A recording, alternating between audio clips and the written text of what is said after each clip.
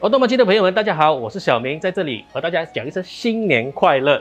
那今年的这个新年比较特别啦，因为 MCO 的关系，我们都不能出门，所以相信不少人都会把心思放在这个家里面布置家居啊，除旧迎新。然后像我们这种爱车的嘞，就会布置我们的这个车子一番啦。啊，那我现在身处的地方，其实就是我朋友的这个隔热膜的店。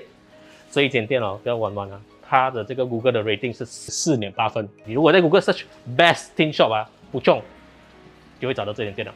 So 为什么会在这里？因为我们的这个李总老李的车呢，它的这个隔热膜就起了这个皱纹波浪啦，所以需要更换了。这个其实也不是美观的问题，是已经是会影响到这个驾车的视线还有安全性了。So 今天的这个影片呢，我们也就顺便为大家解释一下隔热膜的这个细节，所有细节好与坏怎样分辨等等等等的。有兴趣的话，哎，先讲一下，这个不是叶配。So let's go。那讲到隔热膜，其实我本身也不是什么专家啦，所以我今天就直接请一个专家来帮我们解释，那就是这间店的老板 William。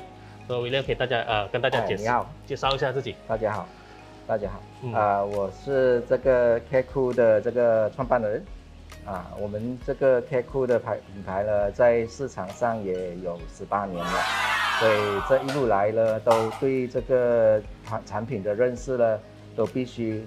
很了解，说你算是行家啦，呃，可以算是，可以算是，因为对那个纸的认识必须要有，因为我们是呈现给顾客。对，那其实大家可以看到了，桌上是有很多不同的这个所谓的隔热膜啦。我讲真的，我是真的是看不看不懂啦，到底有什么分别？所以别人可以跟大家解释一下，到底其实隔热膜怎样去分辨好坏呀？然后有多少种？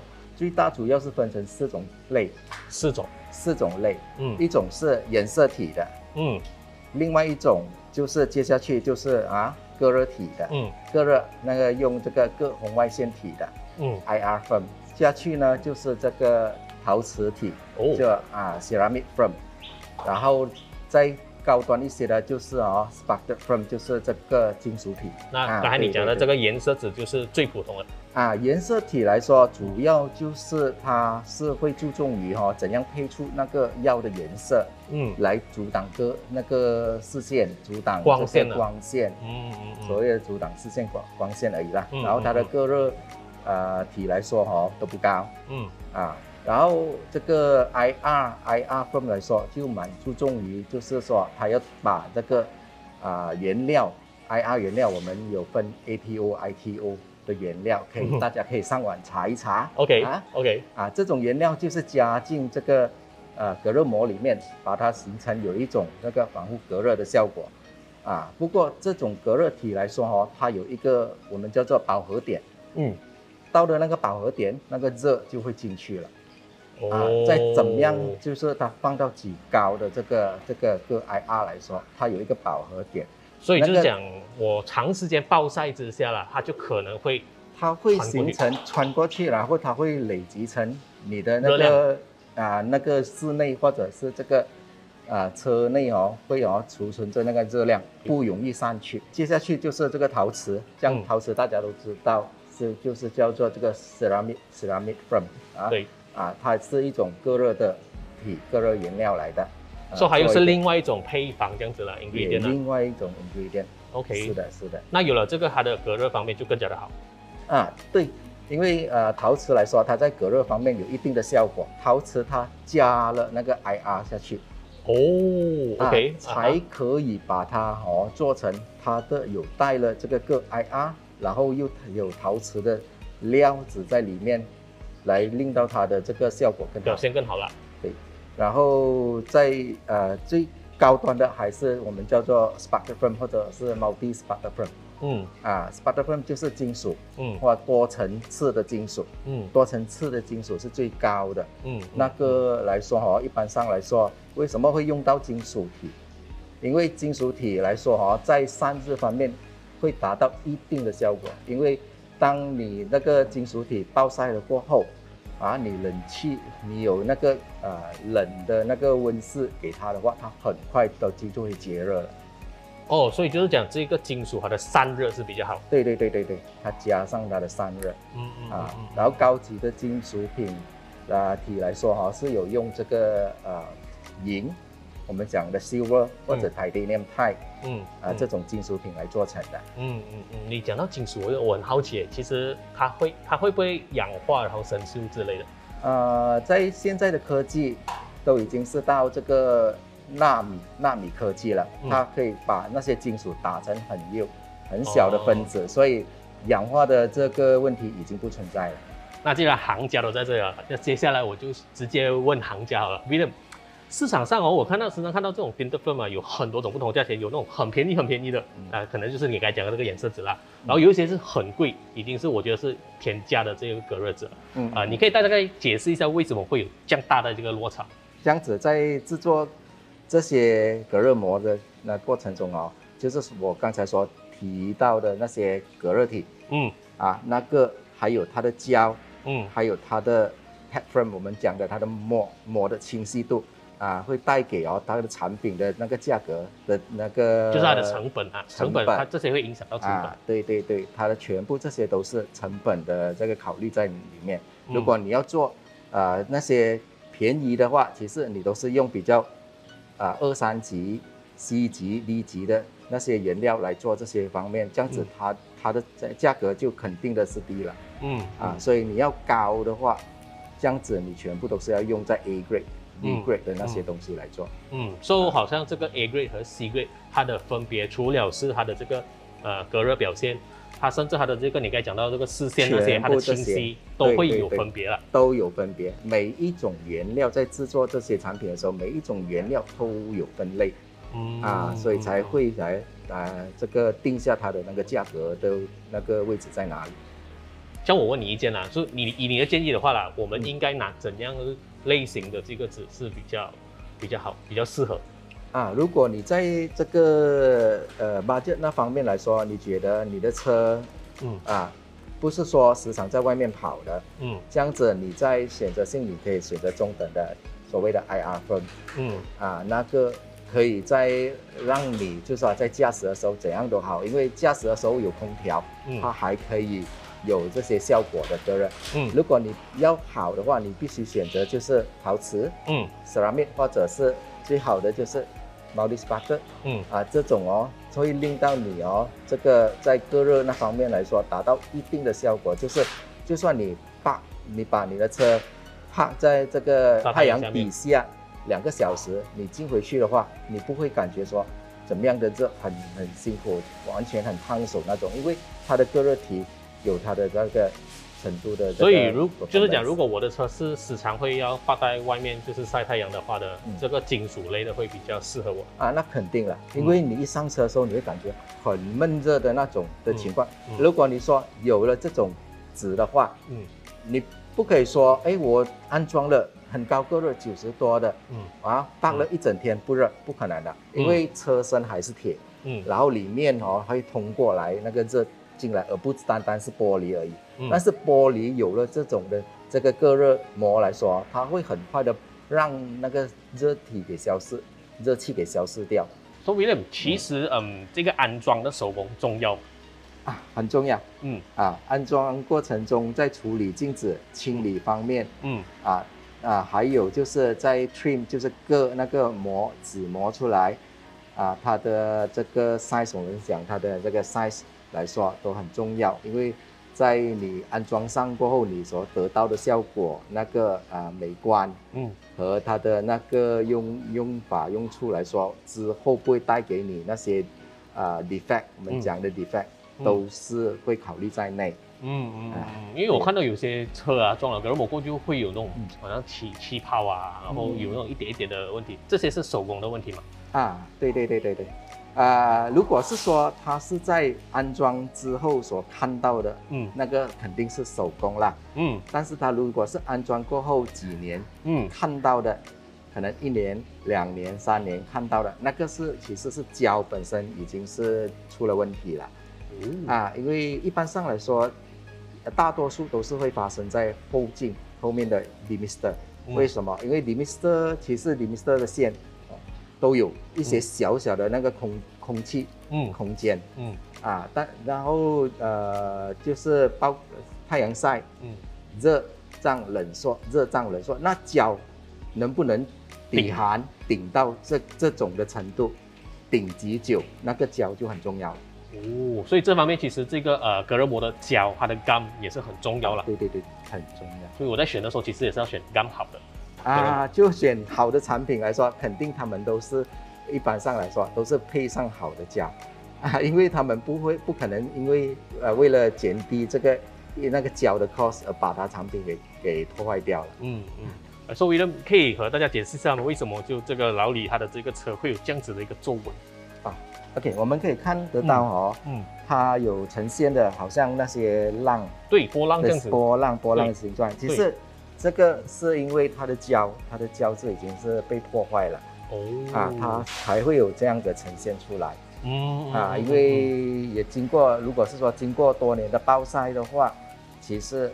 它这个丁的哦，它都会有这样子的问题出现。所以就讲这个胶其实它是会呃慢慢退退化老化的啦。是了啊，那越好的胶就越耐，越好的胶时它的时间比较耐，会比较长啦，就比较长。哦，OK。哦，然后我注意到你们有拆这个门板呢。嗯，有有。是需需要拆的吗？OK，刚才我所提到的，为什么？嗯，我们在做这个安装的过程中，嗯，必须要考虑到，嗯，那个纸的那个。啊，下面的部分的精度，嗯，所以我们只是啊把这个它的这个 scraper 那个骨给拿掉，然后我们就可以把纸给放进去，放更下去一点，下去一些，所以会令到它的那个纸也比较耐，也比较强。在如果是说用到那种防爆纸的话，嗯，它的拿捉度也比较强。哦，就是它可以 hold 着，hold 到比较好。对，哦，所以呃有拆门板是比较好的啦。是的，是的，我们不会整块拆的。现在的车一般上来说都是哦。拿上来，它的那个那个 rubber scraper 拿上来而已。啊，不需要整块给拆下来。嗯，还有一个问题就是哦，就是很多人都有这一个观念呐，就是纸越暗就越好，是真的是这样子吗？啊，未必，嗯，未必，嗯，因为等下我可以给你试一试看，嗯，一样都是这样子按的纸，你会感觉到不一样的那个隔热效果。啊啊，因为啊按。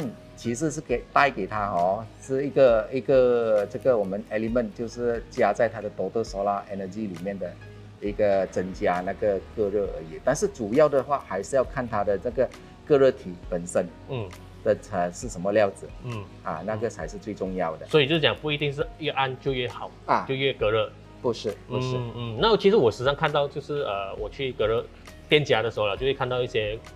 他们会有一个 list 出来讲隔热程度多少八千多少八千这些，所以这一方面我要请教你一下，呃，如果说这个单靠这个 reading 来看的话啦，是准吗？呃，一般上呃，打开门做生意的，我们都都是放那些都是呃根据性的东西，做一个参考了，参考来的，其实是一个参考，但是那个啊不能令你知道它是什么种类的纸。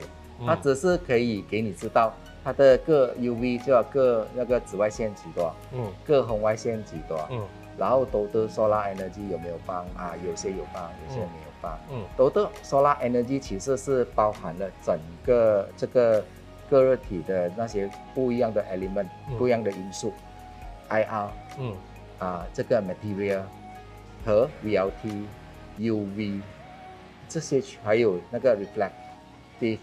啊，它的那个啊，reflection，对，啊，也是有帮助到的，所以才会合成的一个叫做我们所谓的多的 solar energy，就总隔热，它的这个表现呢，对，所以这个东西有没有来一个呃 guideline 还是一个参考，就是讲多少发现以上是好啊，还是怎样？有吗？一般上选择性在马来西亚的这个天气来说，如果你要有一些啊这个比较好的那个隔热的话，都必须要选择啊。隔热体有八十或以上的些，隔热体是啊，它的有英文名吗？它的那个这个 IR 隔热的话啊，都必须要有八十八以上啊。嗯。如果是时常在外面，就是说跑动、晒太阳、暴晒啦这样子的，嗯啊，然后另外一点就是看它的这个产品的这个料，嗯啊，它的 material 是什么 material 了啊，这样 IR 的 material 而已，单单 IR material 而已又怎么样？如果 ceramic 的 material 怎样，然后 sputter 的 material 又怎样？啊，那个又有给你不一样的效果。嗯，所以就讲同样都是八十八线，可是不一样的这个 material 会影响到它的这个表现。对了，所以为什么它的价钱哎？八十八仙的会有不一样的价钱呢？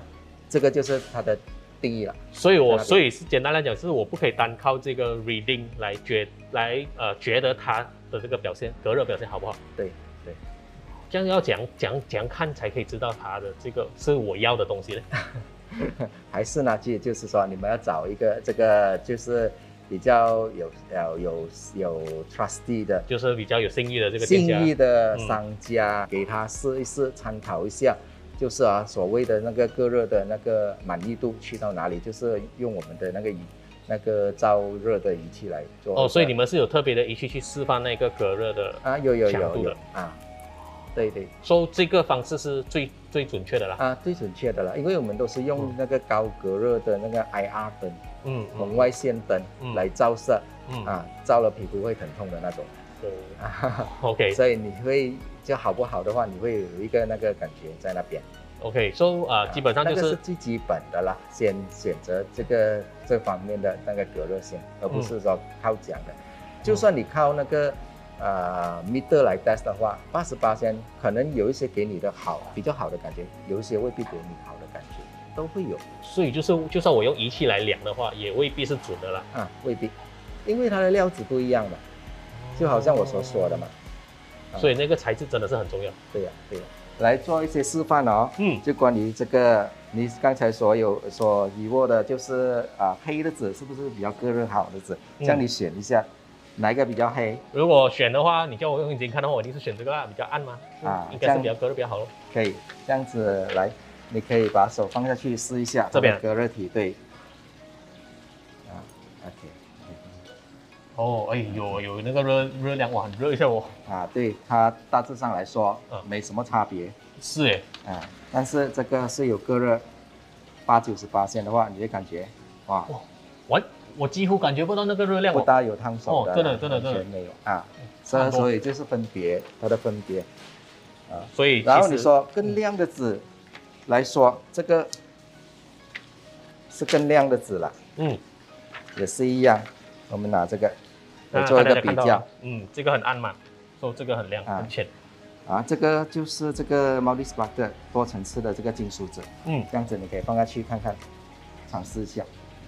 哇，这个更夸张，这个几乎是完全没有热量。它 engine 这个呃散热功能，它可以哦，它的热不透过，它就很快的把它散去。这个真的是完全没有哎。啊，对，对，它的分别就是这么样。哦，OK，说这个是多层次的金属。啊，对，能不能暴晒那个就是不一样的厂家，那个还是特别还是要必须要注意的。哦，所以朋友们，这个 material 真的是很重要，真的有差别。那其实就像这个 William 讲啊，就这个隔热膜除了产品以外啦，其实这个店家它的服务还有它的手工方面、知识方面，其实也是很重要的。所以朋友们，如果你们对呃这一方面是想要知道更多的话，你们也是可以考虑来他们的店来看一下、参观一下他们的这个产品和这个他们做工的方式。先讲啊，这个不是叶配啊。还有一点就是，我发现这一间店哦，他们除了有做这个隔热膜以外啦，他们还有提供这个 coating 以及最近很流行的这个 PPF。的这个服务，那其实现在很多人买新车的时候啊，都会在犹豫了，要做 coding 好还是做这个 PPF 好？我本身也是不懂，不太懂了。所以下一期节目我们会为大家解释到底什么是 PPF，然后 coding 和 PPF 又有什么差别。有兴趣知道的话，就敬请留守我们的频道好了。好了，那今天这个影片就到这里结束。喜欢这样的影片的话，记得呃告诉我们在下面啊 comment 多多啦，和我们呃分享你的这个看法，又或者是你对这个格罗膜方面有什么心得还是经验的话，你是可以和和我们交流啦。So，记得啊，不要忘记按赞、分享，还有订阅我们的频道。我是小明，我们下一期节目再见，拜拜。